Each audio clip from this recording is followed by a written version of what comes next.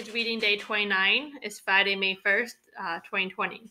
For your reading lesson, you're going to look through the slideshow to review yesterday's lesson. Um, if you need it read to you, if you go to the last page, there's a video on that slideshow that will read it to you. Um, and then the next thing you're going to do is you're going to complete the day 29 question found on the Moped Google Classroom. After that, you're going to do a Zap Path reading. You're going to do one column. Have fun.